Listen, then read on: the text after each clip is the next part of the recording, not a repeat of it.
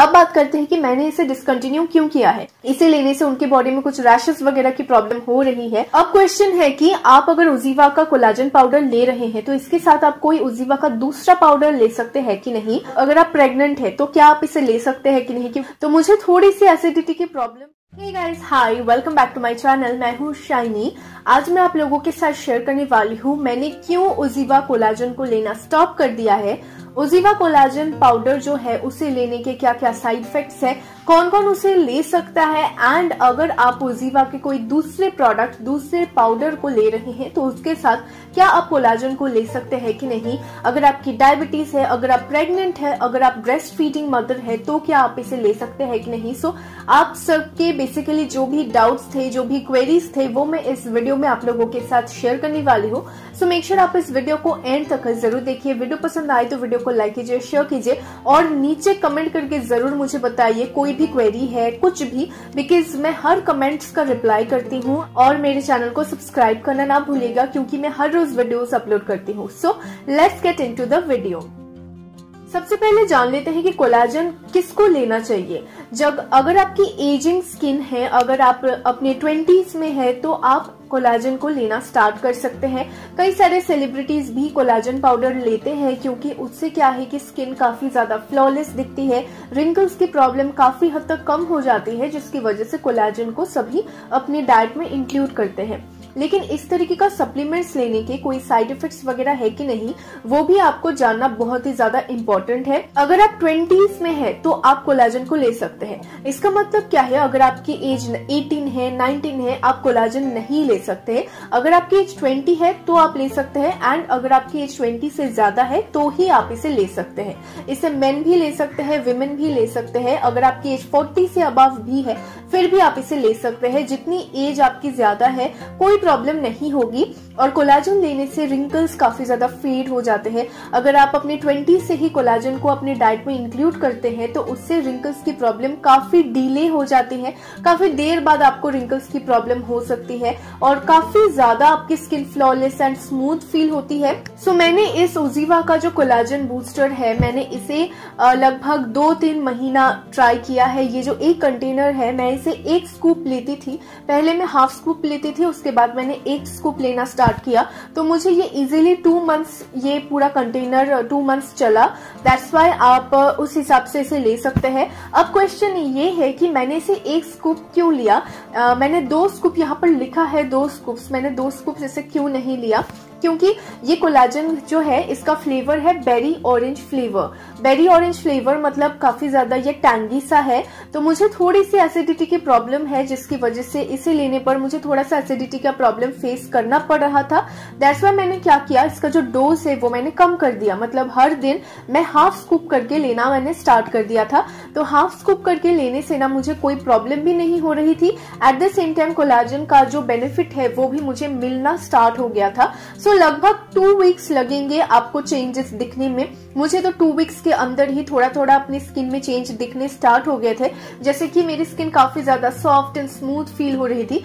अभी जो मेरा एज है अभी मेरे एज में मुझे कोई रिंकल्स वगैरह की प्रॉब्लम तो नहीं है। बट स्टिल स्किन इतनी ज़्यादा सॉफ्ट एंड स्मूथ फील हो रही थी कि मुझे लगा हाँ डेफिनेटली दिस इज़ वर्किंग और अगर आप चाहते हैं तो आप इसे वन स्कूप भी ले सकते हैं। जैसे दो हफ़्ते बाद मैंने इसे वन स्कूप लेना स्टार्ट कर दिया था।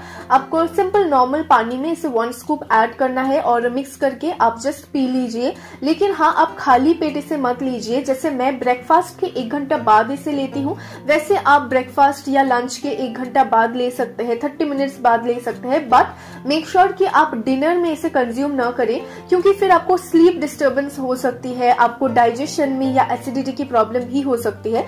सो so, रात को अवॉइड करें आप दिन में इसे ले लीजिए। किसी भी वक्त हर दिन एक बार आप इसे ले सकते हैं। सो so, अगर आपकी एसिडिटी की प्रॉब्लम है तो आप हाफ़ स्कूप या वन स्कूप करके लीजिए। अगर कोई प्रॉब्लम नहीं है तो आप टू स्कूप्स करके भी ले सकते हैं। उससे क्या है फ़ायदा और भी जल्दी आपको नज़र आएगा। जो रिज़ल्ट है और भी जल्दी आपको नज़र आएगा। That's the difference and nothing else अगर आप प्रेग्नेंट है तो क्या आप इसे ले सकते हैं कि नहीं? क्योंकि काफ़ी सारे इस तरीके का कमेंट्स मैंने पढ़े हैं। सो बेसिकली प्रेगनेंसी में आपको डॉक्टर बहुत सारे मेडिकेशन प्रेस्क्राइब करते हैं।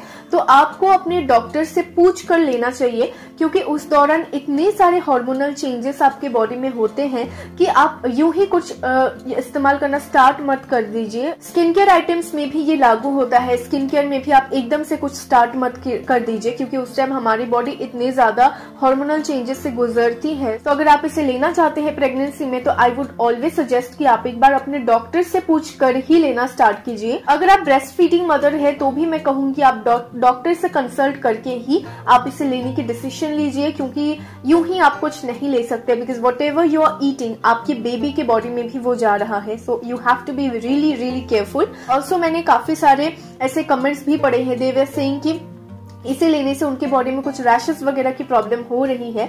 आई डोंट नो मैंने तो इस तरीके का कोई सिम्टम्स फेस नहीं किया है। मुझे काफ़ी अच्छा लगा ये वाला पाउडर मैंने एक कंटेनर फुल इसे इस्तेमाल किया है। देन ओनली मैंने आप लोगों के साथ इसका रिव्यू शेयर किया है। मुझे कुछ इस तरीके का सिम्टम्स नहीं दिखा है। उल्टा मुझे तो बहुत ज़्यादा बेनिफिट्स मिले हैं इसे इस्तेमाल करके। सो एज सच कोई रैश वगैरह की प्रॉब्लम तो नहीं हुई है। बट अगर आप रैशेस की प्रॉब्लम फेस कर रही हैं दिस मीन्स की आपकी बॉडी शायद डिटॉक्सिफाई हो रही है, जिसकी वजह से इस तरीके का प्रॉब्लम आप फेस कर रहे हैं। इसके अंदर इंग्रेडिएंट्स है acai berry sea buckthorn sesbania agati rose petal acerola cherry bamboo shoot इन इसके अंदर बाल्टिन है विटामिन सी है सिलिका है सो ऑल दीज इंग्रेडिएंट्स ना आपके स्किन को हेल्प करता है। यू नो एजिंग प्रोसेस को डीले करने में स्किन पर जो हाइड्रेशन है, उसे लाने के लिए स्किन को हेल्दी बनाने के लिए। और हाँ अगर आपकी डायबिटीज़ है तो आप इसे ले सकते हैं कि नहीं? बिल्कुल आप इसे ले सकते हैं, कोई प्रॉब्लम नहीं होगी। माई फादर इज़ डायबिटिक तो मेरे घर में सभी ओजीवा के पाउडर्स कंज्यूम करते हैं कोई प्रॉब्लम नहीं फेस होता। डायबिटीज़ में भी कोई प्रॉब्लम नहीं होता है सो आप बेझिझक इसे ले सकते हैं। अब क्वेश्चन है कि आप अगर उजीवा का कोलाजन पाउडर ले रहे हैं तो इसके साथ आप कोई उजीवा का दूसरा पाउडर ले सकते हैं कि नहीं? सो so, देखिए मैं उजीवा के काफ़ी सारे पाउडर्स ट्राई करती हूँ अपने डे टू डे बेसिस पर। मैं उसे रेगुलरली लेती हूँ कभी प्रोटीन पाउडर कभी बायोटिन कभी कोलाजन तो जैसे कोलाजन का मेरा ये जो कंटेनर है ये खत्म हो गया लेकिन जब मैं कोलाजन लेती थी उस टाइम मैंने बायोटिन का भी इंटेक किया है। क्योंकि उस टाइम मैं बायोटिन भी लेती थी तो मैं क्या करती थी मैं ब्रेकफास्ट के एक घंटा बाद कोलाजन पाउडर को ले लेती थी उसके बाद मैं लंच के एक घंटा बाद में बायोटिन लेती थी। ऐसे करके मैं दो पाउडर्स एक दिन में कंज्यूम करती थी। तो आप इस, इस तरीके से कर सकते हैं लेकिन उन दोनों पाउडर्स के कंजम्पशन के बीच थोड़ा सा गैप होना चाहिए। ऊपर से कोलाजन आप रात में मत लीजिए, आप दिन में कोलाजन को ले लीजिए। अगर आप प्रोटीन पाउडर ले रहे हैं तो आप जब जिम जा रहे हैं जिम से आने के बाद आप प्रोटीन पाउडर को ले सकते हैं। As a post workout drink के हिसाब से। तो इस तरीके से आप अपना जो टाइमिंग है वो सही रखिए।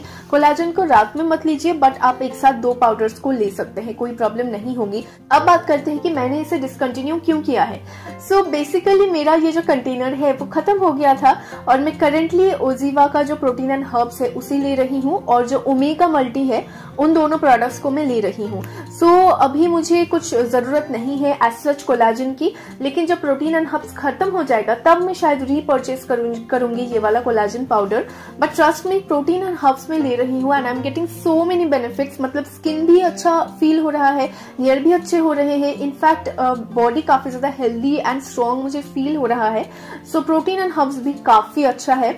जो विमेन वाला है वो मैं इनटेक कर रही हूँ वो भी मुझे बहुत अच्छा लग रहा है and I am totally enjoying that drink तो उसका जो चॉकलेट सा फ्लेवर है, वो भी मुझे बहुत अच्छा लगता है। तो करेंटली मैं प्रोटीन एंड हर्ब्स और जो ओमेगा का जो कैप्सूल है, वो मैं लेती हूँ।